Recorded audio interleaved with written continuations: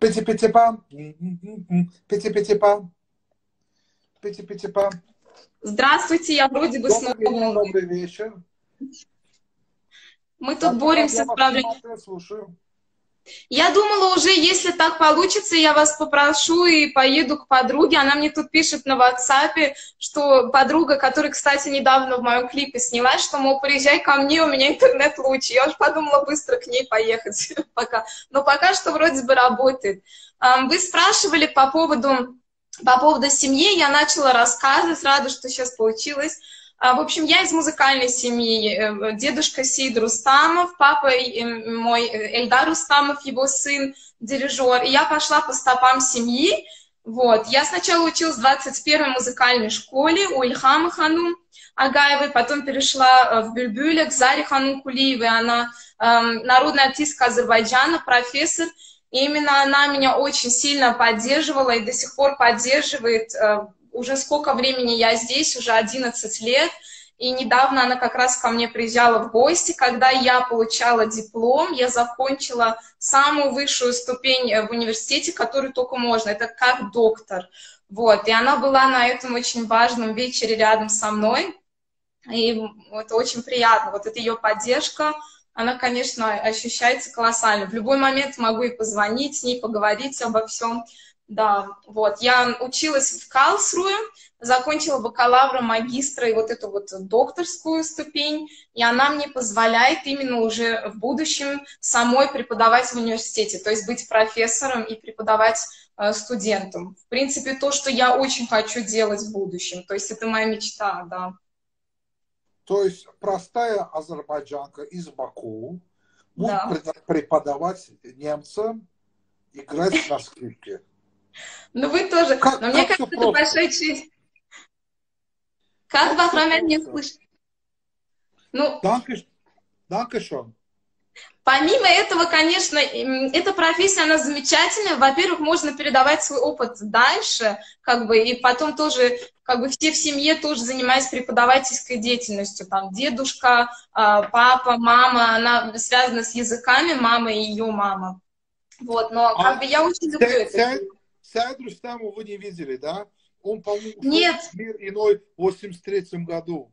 Да, он, к сожалению, да, к сожалению, я родилась гораздо позже того, как он ушел. Но мы вот, я хотела рассказать, мы создали оркестр, я и консул а, Азербайджана, который живет в Штутгарте, Отто- господин Отто Хаузер. Гос- Гино, говорю, уже по-немецки говорю, господин Утерхауза, он меня увидел на концерте, и потом где-то через два месяца позвонил, говорит, Фарида, давай, я чувствую, что у нас получится, давай попробуем. Ну и мы собрались, и он, его правая рука, эм, эм, Ульрих, Ульрих Херцог, у него очень интересное имя, как Герцог э, фамилия. Вот, мы собрались и решили, в общем, сделали концепт, создали оркестр наш первый, камерный оркестр Азербайджана. И вот э, 6 декабря мы выступали на сцене э, Штутгарта, очень большая сцена, и были, в общем, представители э, из Азербайджана, был наш посол также э, из Берлина. И, в общем, короче, заложили мы ну, нашу, как, нашу деятельность, в общем, начали, и не успели мы начать, появился этот, вышел этот коронавирус, и теперь все сидим по домам. Да. А вот вы сказали, а- а- азербайджанский оркестр, да, вы создали в Германии. Там, в смысле, Да. все исполнители азербайджанцы? Ну, ну мы, мы, ребята, все, кто в Германии, мы вообще хотели бы, в принципе, идея изначально была собрать всех ребят, которые живут в Европе, азербайджанцы, но пока финансов мало, и поэтому ограничились только теми, кто в Германии, но все наши. Есть те, которые там из Турции, живут в Турции или родились в Турции, учатся здесь, и все из разных городов. Вот. И мы, в общем, все собрались. Кстати, играли также э, песни Сейда Рустамова. Я играла на скрипке в качестве голоса. Очень красиво. Я выложу скоро в интернет. Необычно, потому что всегда либо голос, либо народные инструменты. А тут я решила вот дедушкину песню э, сыграть. И я также хочу тоже отметить, что для меня большое значение имеет тоже контакт именно, знаете, с Азербайджаном, потому что все вот эти ноты, э, потом советы, как исполнять, аранжировки, то есть это все я не одна. Мне помогают очень сильно вот моя профессор – и тоже надо отдать должное. Фархад Шамсевич Бадалбели тоже всегда на связи, когда нужно какой совет или... В общем, любое время могу обратиться. И очень приятно, они меня приглашают. Я же живу здесь 11 лет, но вот 2018 год был очень интенсивный.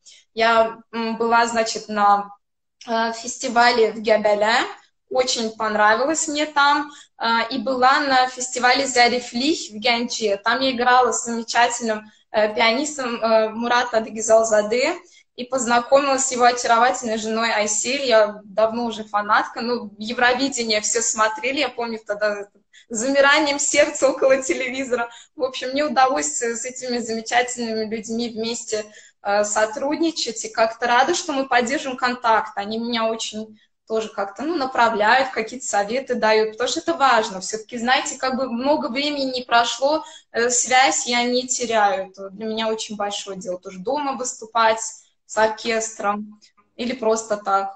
Да. Файдахан, один вопрос. А скрипка рядом с вами?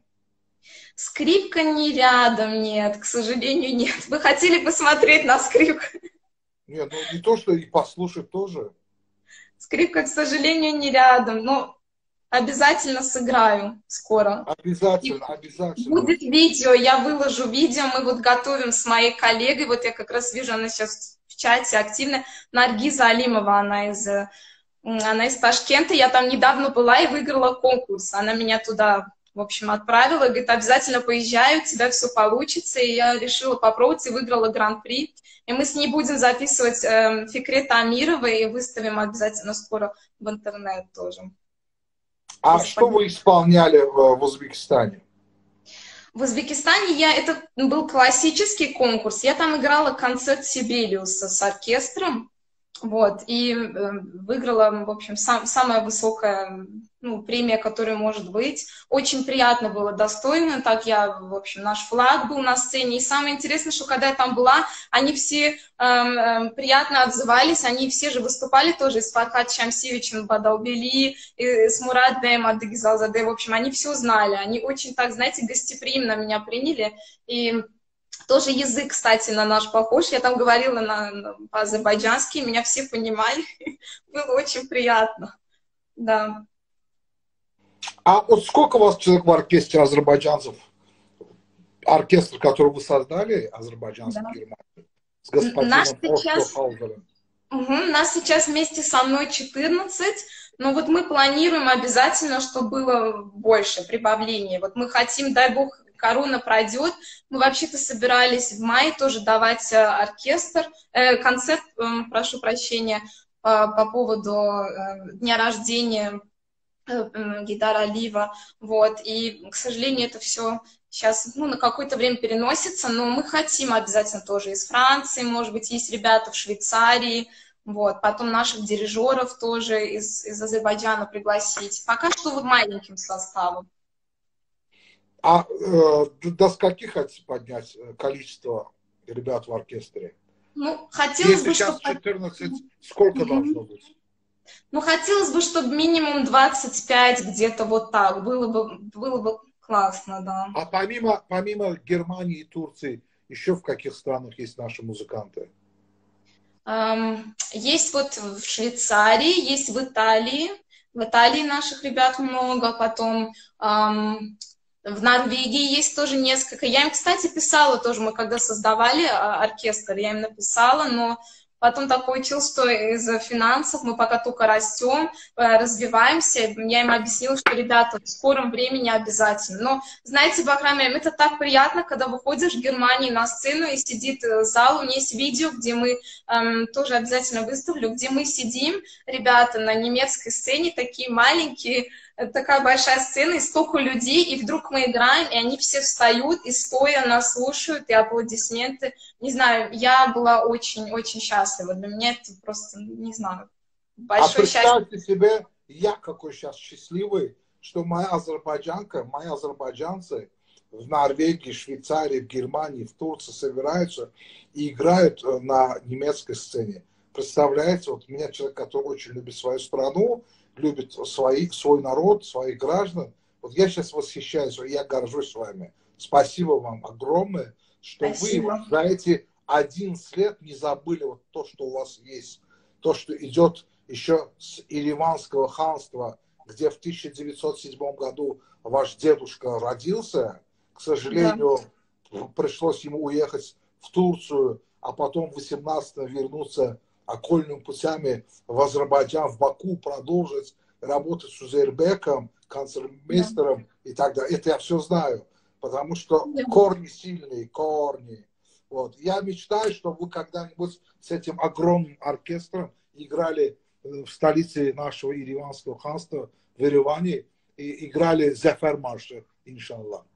Иншалла, дай, дай Бог, да. И, но я скажу, что мне тоже было очень приятно, то, что мы с вами связались, и то, что вот получилось сегодня быть гостем вашей передачи. Для меня это очень многого стоит, потому что мы вас всех очень любим, и давно уже смотрим тоже. Это самая любимая команда, и вы очень популярный, очень замечательный человек, и для меня это большая тоже честь в мою очередь тоже, я очень-очень благодарна вам. У нас даже, я вам, может быть, говорила, с КВН тоже есть небольшая связь, потому что э, папа Тимура Вайнштейна, Леонид Вайнштейн, он с моим папой вместе учился у Кара Караева в, в классе, вот, и очень всегда тепло отзывался, ну и как-то а дедушка э, Таира и Джабира Имановых, он приходил тоже к нашему дедушке, а папа мой учился у, э, э, у бабушки, вот, Таиры Джабирим, она была тоже в Бюльбюле, преподавала, я не помню, какой предмет, мама мне рассказывала, вот, так что тоже есть, знаете, какая-то связь, помимо всего то, что вы прекрасно выступали, и вообще потрясающая деятельность, тоже это приятно, что такая связь есть. Спасибо. Значит, вы знакомы и с Тимуром Маштейном, и с Джабиром, и с Тарем Имановым, да? Я лично, к сожалению, нет. Но такими путями, да, как-то родители, то другое поколение, да, они все. Но это золотая молодежь тогда была Азербайджана, они все вместе собирались, как-то общались, культурные вечера были, на концерты ходили друг к другу, да. А расскажите, пожалуйста, про Фаргад Малима Шамсиевича, с которым ваш папа учился. Да.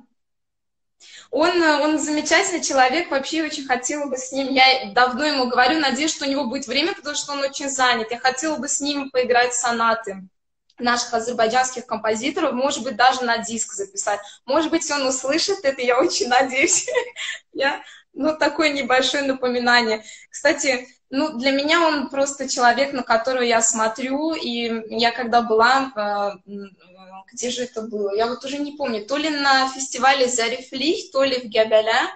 Он вышел на эту огромную сцену, произнес большую речь, а вообще нам, музыкантам, очень сложно говорить. Вы знаете, я так переживала, когда с вами вышла в эфир, потому что я играю, я выхожу на сцену и играю, неважно, сколько людей. Но говорить это, о, это очень страшно. И я на него сидела, смотрела, он произнес такую потрясающую речь, очень э, э, вообще без, э, без нервов, без всего, и потом сыграл в бешеном темпе, я подумала, боже мой, как он это делает, я тоже так хочу.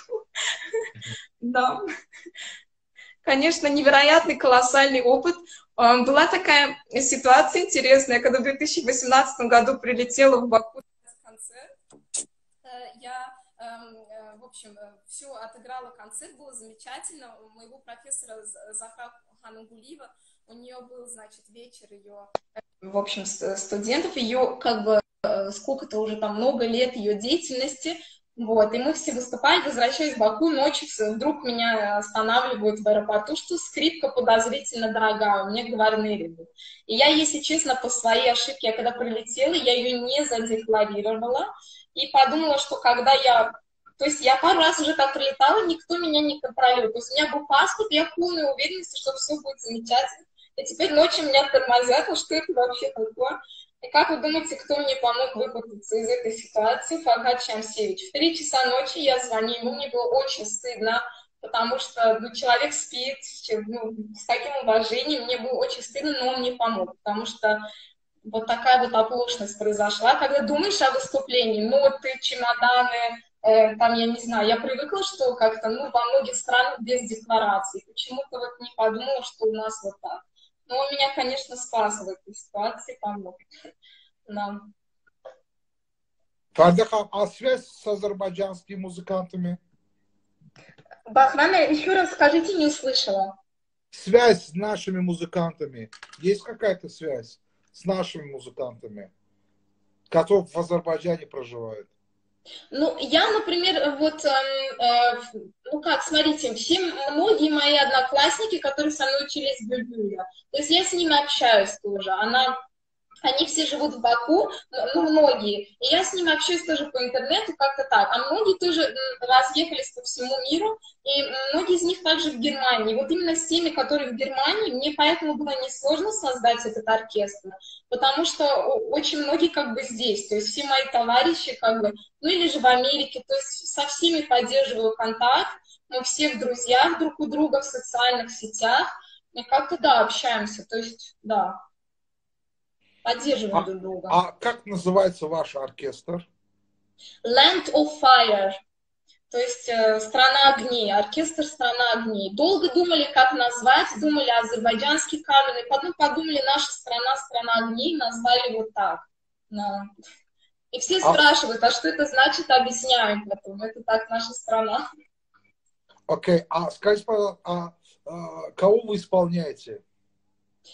Ну, на нашем концерте, вот, который мы дали в декабре, наш дебют, мы исполняли произведение Узира Гаджибекова «Араз Бары», потом мы исполняли э, Кара Караева, э, мы исполняли Акшина Ализаде, Саид Рустамов, дайте вспомню, по-моему, Фекрет Амирова мы тоже играли, и мы также сыграли Моцарта, и также мы сыграли под конец э, «Отдых радости» Бетховена. Мы подумали, что как бы мы все равно здесь, и неплохо было бы показать, что мы не только азербайджанские произведения играем, но и также и европейских композиторов можем хорошо исполнить. И знаете, что очень приятно было в Ахрамяле? Там были люди, например, бургомистр Ульма. Тогда же в свое время немцы, которые переехали в Азербайджан, очень многие из Ульма были. И он очень хорошо рассказывал эту историю. И даже в зале сидела женщина, которая в свое время немка, она сама жила вот, вот наши вот эти вот Гянджи там и так далее, она очень хорошо разбиралась, это было приятно. То есть связь есть между нами, а именно вот концерт был посвящен вот этому. А немецкая публика, немецкий зритель, он воспринимает азербайджанскую классическую музыку или нет? Да, да, очень хорошо, потому что наша музыка, она очень приятная, очень мелодичная на слух.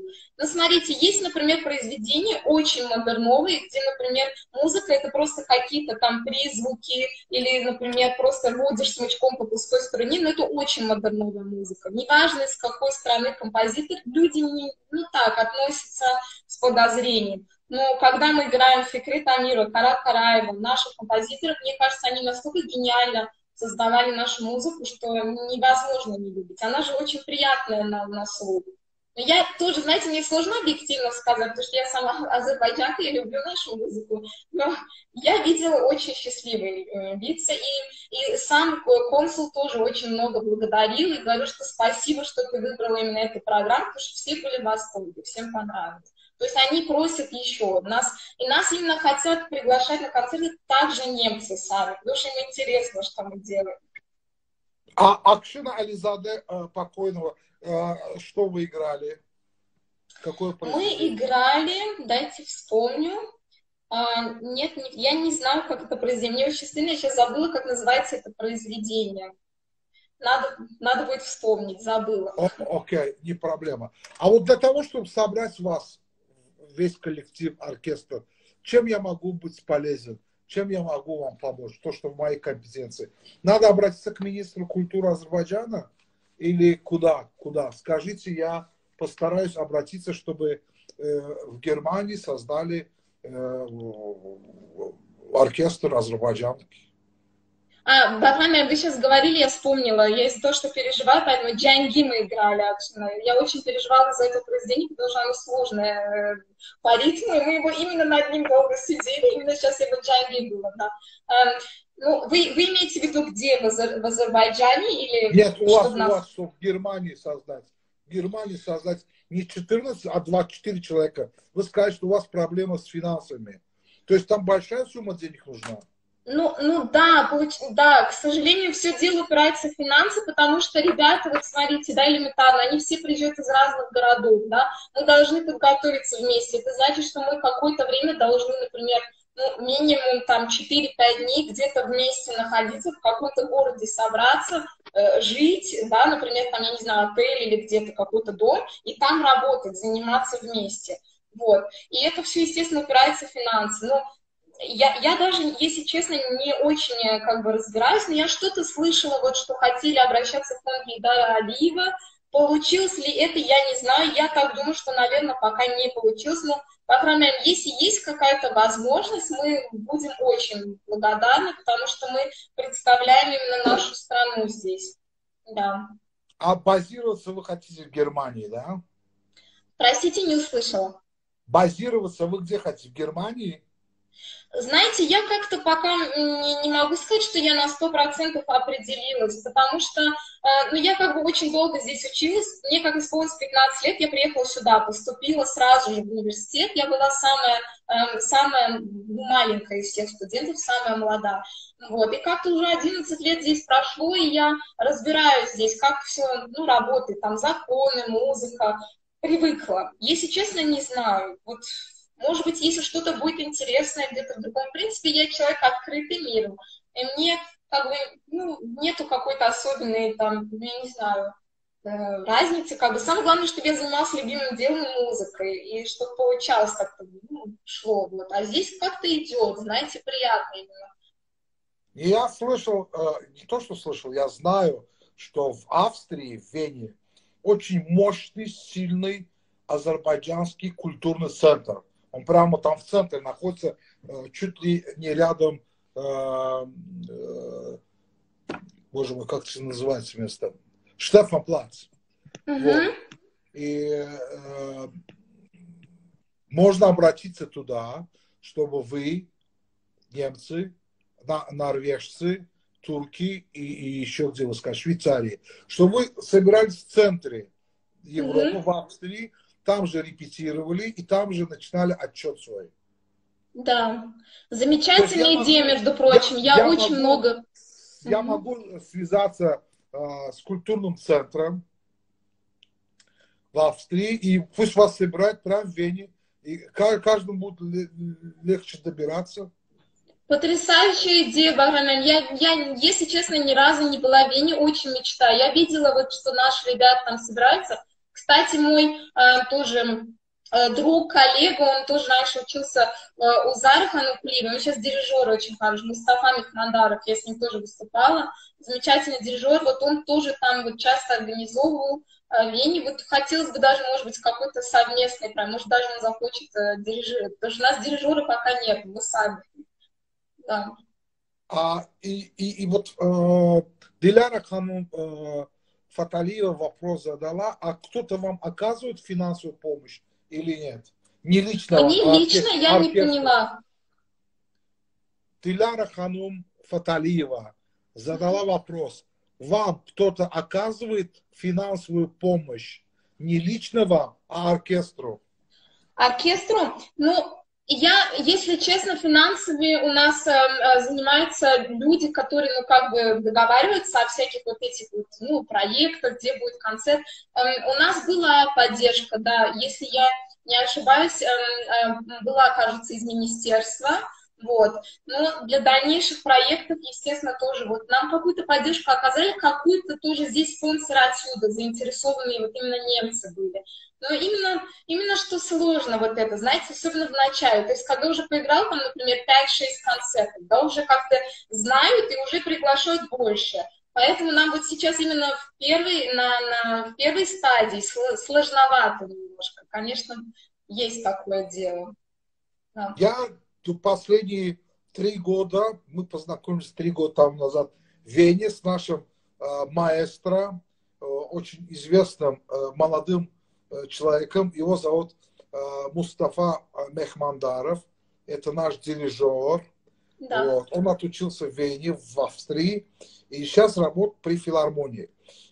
И он так же, как и вы, вы, если знаете Германию, он же хорошо знает Австрию. Я сегодня же буквально через час-два, а может быть и завтра, пообщаюсь с ним, прозондирую, как можно в Австрии создать азербайджанский э, симфонический оркестр. И что вы там собираетесь. Я, я, я не обещаю вам, что мы это в ближайшее время сделаем, но я, я, я начну заниматься этим вопросом. Хорошо, да. Я Мустафу, Мустафу очень уважаю. Я не знаю, может быть, не слышно было или нет. Мы вместе учились у одного педагога. Я с ним даже выступала в Баку, когда я была, давала концерт. Он, он дирижировал. Он дирижировал. Это было очень приятно. Нет, это очень он начинал, идея. Он начинал со скрипки, в принципе. Да, да, мы были вместе в классе у Захры Ханугулиева. Потом он стал дирижером замечательным. Он, я видела тоже, он выступает. Да, то есть вы учились в Бюльбюлевской школе, да, я как понял? Мы вместе, он, э, Мустафа, вот я не помню, по-моему, он был даже сразу при консерватории. Я училась в Бюльбюле просто из-за того, что один педагог, мы, естественно, знали друг друга. Он был при консерватории, мы даже вместе раньше учились у Баяндура Мехтиева, потом Баяндур Мэлим Аллах Рямят Илясин, он бедный ушел, и мы как-то перешли, в общем, к Заре Ханум. Но Заре Ханум, она родная, она душа, она уже в принципе, всю, всю жизнь меня сопровождает. Да. Я, я, я напротив учился в 189-й школе. Так что все были... 189-й. Мне мама рассказывала, Бахрам Альмесна. Да, это там близко все, прямо в центре. Ну, один двор, да, мы все футбол гоняли. Ну да, да. С Бюльбюля со 190 школы и с нашей легендарной 189-й. Так что вот так. А, как переносим коронавирус и карантин? Эм, знаете, я стараюсь быть креативной не, не, и не, состою... Не, не лично вы, Германия. Нам интересно а. опыт Германии. Ну, по Германии как-то, ну, я, я вам скажу, что люди недовольны все-таки. Они вначале как-то, ну, соглашались с этими условиями, что все должны сидеть дома, что нельзя контакта, что надо, в общем, себя вести э, хорошо и прилично и так далее. А сейчас это им уже все не нравится, и сейчас начинаются забастовки. Проблема в том, что все очень боятся за свое место работы, и то, что ну, на экономику это имеет большое влияние, и поэтому все люди очень переживают. И даже многие говорят, что лучше даже я заболею, и дай бог выздоровлю, и ничего со мной не случится, но лишь бы, например, там следующее поколение, лишь бы они жили бы в стране, где э, экономика, ну, в хорошем состоянии, скажем так, которая не развалилась. То есть очень переживают. Ситуация непонятная, напряженная. В общем, люди тут выражают недовольство, но я должна вам сказать, что немцам все-таки повезло в этом плане, потому что французам им вообще никуда нельзя выходить. Вот у меня сестра во, э, во Франции живет, даже три старшие сестры живут во Франции, и у них очень строго. То есть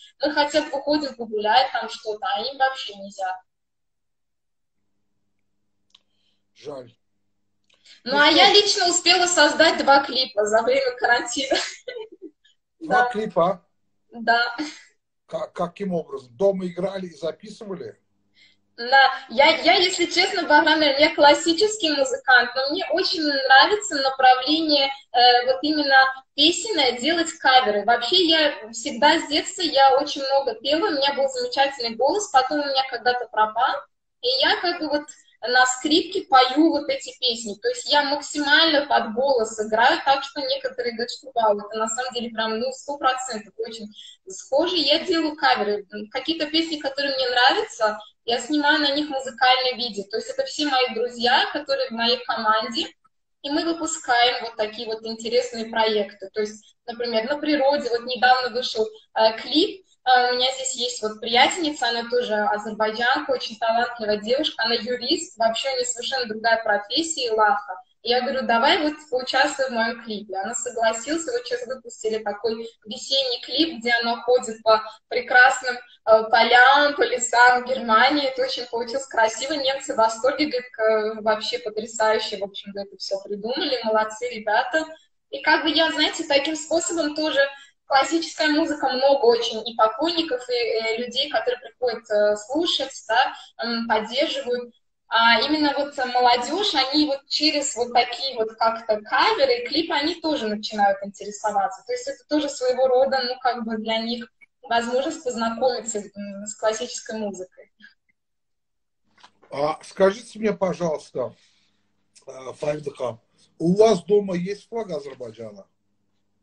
У меня э, у дома есть, да, я вот э, нахожусь сейчас в Хайдебек, я недавно переехала, но вот в Калсру, да, маленький, правда, но есть. Маленький флаг, но есть. Стоит на рабочем столе. Я вам подарю большой флаг. Да, с радостью. С радостью. Как карантин закончится, иншаллах, я приеду в Германию, мы обязательно встретимся. Мы в прошлом году с семьей были в Германии, угу. и вот, отдыхали с нашими друзьями. Иншаллах, в следующем году э, мы приедем, я обязательно вам э, привезу свои книги, обязательно, и обязательно флаг Азербайджана. Ой, Владимир, я... спасибо. А в каком городе вы находились? Э, где вы были? На юге, севере? Мы в, в Кёльне были. А. Мы были в Мюнхене, мы были э, Дюссельдорфе угу. и Ганновере. И еще в Гамбурге были.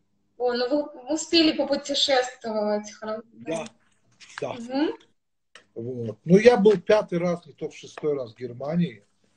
Я в детстве обожал Германию, сейчас не люблю ее. Не знаю почему. А, хотя не, не любил Францию, а сейчас я ее обожаю. Почему? Вкусы а, меняются. Да. Ну, хотя а, я по гороскопу дева, да, я и перфекционист, и э, для меня дисциплина это главное в жизни. Угу. Вот. Поэтому я люблю Германию до сих пор. О, да, у них есть, да, вы увидели, да. Да, но э, она немножко холодная, да. Я же все-таки азербайджанец, я кавказец, я более такой, да, горячий. Есть такое дело, да, есть и вправду а, есть, а, да. А, а, а в Германии у меня контакт не получается, к сожалению. Хотя в Австрии это нормально. Во Франции еще, в Испании вообще-то изумительно. Ну да, они тоже такие солнечные, яркие, очень эмоциональные, как мы. Есть, да, схожесть есть с нами. А, я вам обещаю, что я поговорю с компетентными людьми. Я не говорю, что у меня сто процентов получится, но я обещаю поговорить и прозондировать почву, как же все-таки помочь нашим ребятам, азербайджанцам, создать э, азербайджанский симфонический оркестр э, в Европе, так скажем. Не хочу из Германии, но да. что вы собирались и репетировали, давали концерты по произведениям наших великих азербайджанских композиторов. Я и посоветуюсь и с компетентными людьми, и с Мустафой mm-hmm. с нашим маэстро. Ну, в общем, я не хочу много говорить сейчас на эту тему, но я постараюсь. Что вы хотели пожелать э, своему зрителю? Ну, но самое главное, Бахрамян, здоровья нам всем и терпения, чтобы как бы, ну да, пройти вот это сложное время как-то, ну, с гордостью, с, с храбростью, не, не бояться ничего. Я думаю, мы пройдем через это трудное время, все будет хорошо. Самое главное, терпение, не сдаваться, вот, и быть позитивными, это важно. Хорошее настроение должно быть тоже. Спасибо, Файлхан. Я тоже вам желаю крепкого здоровья, Спасибо. жизни və çox istəyirəm ki, siz xoşbaxt olasınız. Çox sağ olun, Baxan. İstəyirəm hər bir Azərbaycan üzr istəyirəm qadını xoşbaxt olsun. Azərbaycan qadını nə qədər xoşbaxt olsa, biz Azərbaycan kişiləri daha da xoşbaxt olacaq ki, öz xanımlarımızı xoşbaxt günlərini görəndə. Allah baxtınızı açsın, xoşbaxt eləsin. Allah ürəyinizdə nə qədər arzular var, istəyir qadın kimi, istəyir insan kimi, istəyir musiqiçi kimi, onları Allah Taala həyata keçirsin və siz o qələbələri əldə eləyəsiniz. Biz də buradan Azərbaycandan baxaq Avropaya, görək ki, bizim belə şəxsiyyətlərimiz mərkəzdə, Avropa mərkəzində yaşayırlar və sizin qələbələrinizə, sizin zəfərlərinizə həmişə sevinək. Allah sizi qorusun, Allah bütün Avropada yaşayan Azərbaycan gənclərini qorusun və bilin ki, vətə- vətəndə sizi sevirlər. Vətəndə həmişə sizi gözləyirlər. Siz özünüz böyük bir nəslin nümayəndəsisiniz. Onu heç vaxt yaddan çıxartmayın. İrəli, irəli bir deyirlər. Allah sizi qorusun. Çox Çox sağ sağ ki, olun. bugün bizimlə efirdə oldunuz. İnşallah gələn dəfə yadınızdan çıxarmısınız. Deklarasiya eləyin skripkanı özünüzlə götürün ki, Televizyon eləyəsiniz bizim insanları ki, mən söz vermişdim bu, bu günləri ifa edəcəksiniz. Klassik musiqi alınmadı, eybi yox. Qoy karantin qutarsın, bir də sizinlə görüşəcəyik inşallah. Çox sağ olun ki, Bahman müəllim. Sağ olun, siz də sağ olun. Çox sağ olun. sağ ol bacım, minnətdaram sizə. Bəli, bizim qonağımız Fəridə xanım Rüstəmova idi. Azərbaycanı Almaniyada m, təmsil edir və orkestrlarda ifa edir. Gördüyünüz kimi Azərbaycan musiqisinə həm Qara Qarayevin, həm Fikrət Əmirovun, Akşın Əlizadənin və digər Azərbaycan ə, məktəbinin Üzeyir bəyin deyir, məktəbinin ə, böyük bəstəkarlarının əsərlərini sevinirəm. Allah haqqı sevinirəm ki, belə ə, xanımlarımız var, bizim övladlarımız var ki, bizi bu təmsil edirlər Avropada ə, ali cənab, aristokrat, ziyalı, nəsli olan, kökü olan bizə belə Azərbaycanlılar lazımdır. Allah qorusun hər bir balamızı və həmişə öz qələbələri ilə bizi sevindirsinlər. Bakı vaxtında saat 22:50-dir. İnşallah mən də hələlik sizinlə sağollaşıram. 10 dəqiqədən sonra qayıdacağam və saat axşam 11-də, yəni ki 23:00-da 10 dəqiqədən sonra bir daha qoşulacağam və bizim qonağımız ə, epatajlı ə, Vayner ə, Nicat Mütəllibov olacaq. Niko Sayağı. Niko Sayağı. Kimə maraqlıdırsa qala bilər. 10 dəqiqədən sonra görüşmək ümidi ilə. Çox sağ olun, minnətdaram.